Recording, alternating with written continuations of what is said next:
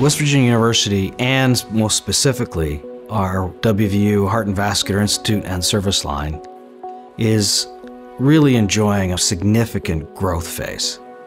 And when choosing a fellowship, one oftentimes wants to be at a place where one gets exposed to the breadth and depth of complexity, but also exposed to the ability to add to the literature. The opportunity to not only advance one's clinical experience, but also academic experience.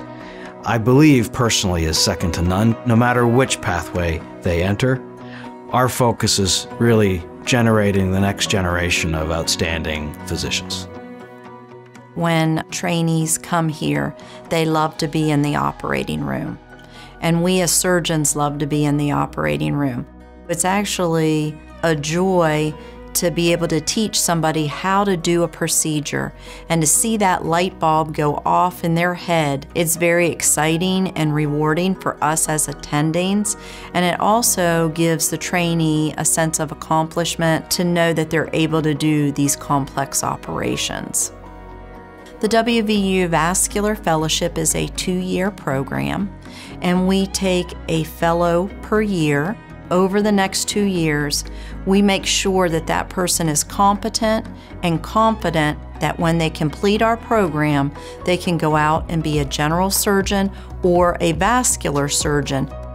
I ended up at Morgantown for fellowship after doing five years of residency in uh, Philadelphia in general surgery. When I was looking for a fellowship, I was looking for a university program outside of a big city and to get a different pathology and to get a full breadth of vascular surgery and I'm in my first year of practice here at WVU Morgantown as well. I was given a great amount of autonomy. After the first six months, you've worked with every attending. Um, they know you, you work with them day in and day out.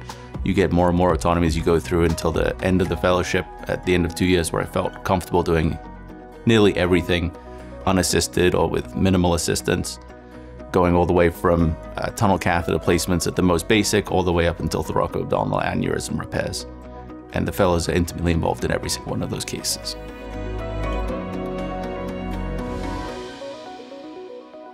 During the fellowship, you will have some complex pathology that will require a lot of training and a lot of decision making, but also you would encounter what we call bread and butter cases. Some other fellowships sometimes do not focus on those cases, and you get into practice, and it's actually kind of difficult to pick up I enjoyed uh, mostly the connections that I developed with the people, the opportunities of the various complex pathology that we were used to treat, and the confidence that I gained throughout my two years to be an independent vascular surgeon with a seamless transition into a practice. Many of our faculty serve as mentors, not only here in the training, but even times when the trainee has graduated and they are out in practice, we still continue to have that mentorship.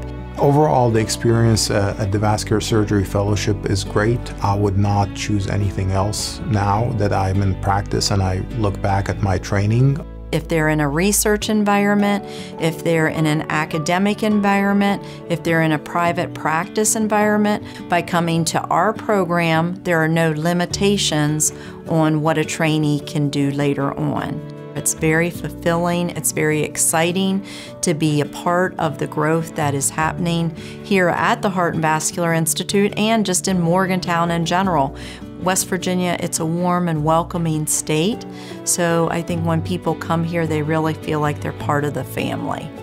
I would tell people to consider applying for this fellowship if they want to come and be a well trained vascular surgeon.